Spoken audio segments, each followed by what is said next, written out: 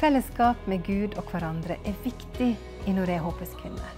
Over hele verden møtes kvinner i bønnegrupper, møter og konferanser.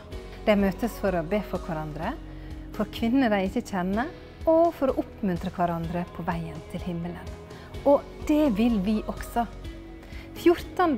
til 16. april inviterer vi deg på Norea sin kvinnekonferanse på Evje. Det blir fellesskap med gode måltid, bursdagsfeiring av Håpets kvinner og bibelundervisning om det å være på hellig grunn.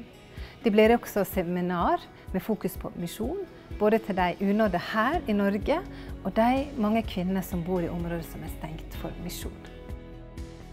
Du finner info og påmelding på håpetskvinner.no, eller ved å søke opp arrangementet på Facebook. Håper jeg ser deg.